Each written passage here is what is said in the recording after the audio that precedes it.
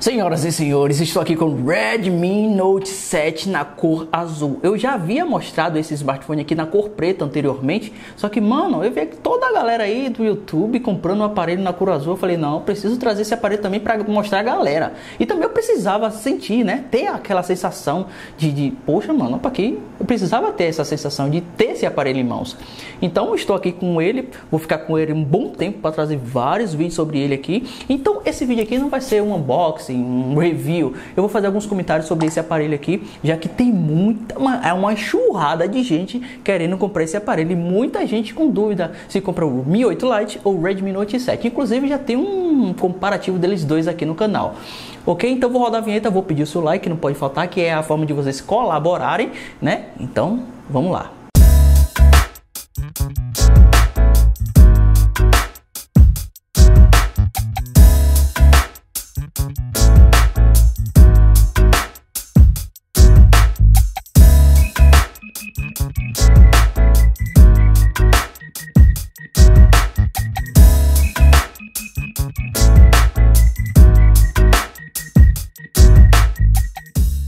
E aí galera, tudo beleza? Eu Anderson Conceição aqui no canal Meu Smartphone.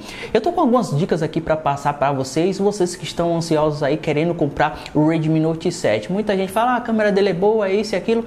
Bom, aparelhos da Xiaomi, a maioria deles não são tão bons para fazer stories, para vídeo no Instagram. Bom dia rapaziada, experimentando aqui a câmera frontal do Redmi Note 7 para ver como é que ele se sai aí, depois que eu subir esse vídeo aí pro Instagram como fica a estabilidade, captação de áudio.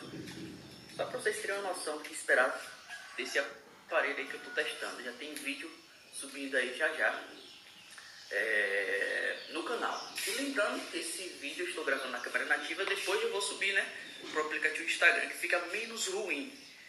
Ok? Agora, vídeos normal, você vai gravar, vai postar na internet, exceto o Stories, ele fica tranquilo, ótimo. Agora, com relação ao Redmi Note 7, ele tem uma câmera de 48 megapixels, a segunda câmera para fazer fotos no efeito modo retrato. Eu capturei algumas fotos e tem algumas dicas aqui para passar para vocês, porque a foto crua não fica tão boa assim, dá para melhorar. A maioria dos smartphones, até os topos de linha, tem alguns smartphones que precisam de um filtro, outros precisam de algumas edições. E como a galera hoje procura mais o smartphone pelo? Ah, ele tem uma boa bateria, tem uma boa câmera, geralmente são esses dois quesitos. Então, no quesito câmera e bateria, ele não deixa a desejar, até porque ele está custando muito pouco ou um preço muito justo. Hoje na Amazon Brasil você consegue comprar o aparelho por cerca de R$ 1.200. Inclusive o link de compra está na descrição do vídeo. Então tem algumas dicas para mostrar para vocês sobre o Redmi Note 7 com relação à foto. Se você vai, você está querendo comprar o aparelho, vai comprar, olha só o que é que você tem que fazer para deixar as fotos mais vivas e com as cores mais assim mais reais, é, porque fica meio esbranquiçado, né? Então você tem que dar uma melhorada. E muita gente já sabe desse truque. Mas enfim, vamos lá. Olha só, pessoal, aqui aqui na galeria eu capturei algumas fotos, né? Capturei fotos na câmera frontal, olha só. Olha só como essa foto está esbranquiçada, olha só. Você vê que dá para melhorar. Tô colocando a foto aí na tela cheia. Então, olha só, depois da edição como ela fica. O verde lá no fundo fica mais verde. Aqui, essa foto, inclusive, eu tirei no modo retrato. Então, se você vai comprar esse aparelho, vocês precisam fazer essa edição. Como é que faz? É uma coisa muito simples. Olha aqui, outra foto, só para vocês verem como essa foto vai ficar. Clica nesse botão aqui, ó. Aí tem a opção Beautiful. Clicou nessa opção, você clica aqui em paisagem, dá uma melhoria. Agora vocês podem ver que o sol está muito intenso. Você dá um OK aqui, depois vem cá em ajustar, diminui um pouco o brilho. Olha como a foto ficou perfeita. Vocês podem perceber que até com câmeras profissionais, as pessoas, os fotógrafos não entregam a foto crua. Eles sabem que as fotos sempre precisam passar por uma ediçãozinha. E olha só como ficou o antes e o depois não ficou bem melhor? Bem melhor, né? Nem se compara. O antes e o depois. O antes e o depois. E aí você também pode diminuir né, a intensidade de brilho, o contraste também. Fica ao seu gosto. É só clicar nesse botão aqui de edição. Mas eu geralmente não mexo muito. Eu só mexo mesmo na questão do brilho, né? Que às vezes fica esbranquiçado. Então eu diminuo um pouco o brilho e dou aquele tom beautiful que deixa o verde mais verde. Dá uma, um pouco de saturada na imagem. Outra coisa que vocês precisam saber também, as capturas do modo noturno só ficam excelentes se vocês instalarem o Gcam. Inclusive estou deixando um link de download do Gcam aqui na descrição do vídeo.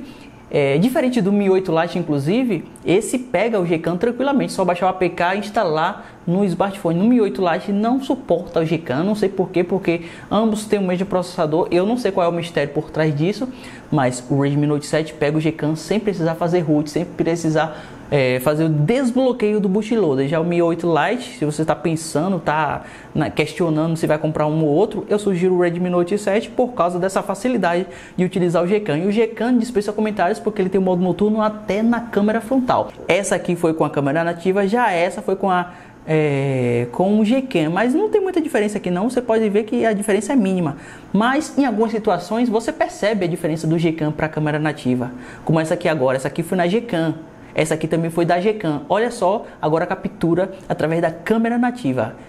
No mesmo lugar, tá vendo como ficou menos com menos qualidade? Dá para perceber, né? É perceptível. Olha essa outra aqui, essa aqui foi com a câmera nativa. Em alguns momentos que eu percebi, quando você captura fotos, você tem que deixar. Na verdade, o modo noturno, até mesmo na Gcam, você tem que deixar o aparelho parado o mais parado possível. Você segura com as duas mãos, fixa bem assim, ó, o smartphone para capturar foto tá ligado? Tenta apoiar seu, seu, seu punho em algum lugar, sei lá, abaixado. Você tem que deixar ele parado máximo, porque um pouquinho que você mexer, é, a foto sai meio borrada, como foi o caso dessa aqui. Ó. Vocês podem ver que o foco aqui ficou tudo sem foco aqui, ficou meio embaçado. Aqui ficou legal, tá vendo? Aqui foi com a câmera nativa, inclusive. Olha aqui, outra foto com a câmera nativa. Olha a diferença dessa para essa Tá vendo? E foi sem edição, não fiz nenhuma edição. Até porque a edição também é algo simples, né? Através do aplicativo nativo de galeria você tem a opção de fazer uma edição rápida nas suas imagens capturadas. Enfim, pessoal, e aí? Gostou do Redmi Note 7 na cor azul? Ou ainda está pensando em pegar o Mi 8 Lite? Porque vocês já sabem, né? O Mi 8 Lite não pega o Gcam se você está querendo é, trazer, levar um, ter um foco em fotografia no seu smartphone. Eu sugiro o Redmi Note 7, até porque ele tem a mesma, praticamente a mesma configuração de hardware do Mi 8 Lite. Sem falar que a capacidade de bateria dele é muito melhor que a do Mi 8 Lite, então ele tem uma durabilidade de bateria muito melhor. E ainda assim, tá praticamente o mesmo valor, né? 1.200, 1.300 reais na versão de 64 GB. Lembrando que ele também tem a opção de 6 GB de memória RAM com 128 GB de armazenamento. Vou deixar o link das duas variantes aqui na descrição do vídeo, porque aí vocês decidem por conta própria. Qualquer outra dúvida, deixe sugestões de comentários aí de vídeos sobre esse aparelho que eu vou trazer aqui no próximo vídeo, dependendo dos comentários que vocês deixarem aí. Eu vou ficando por aqui. Um grande abraço e até a próxima.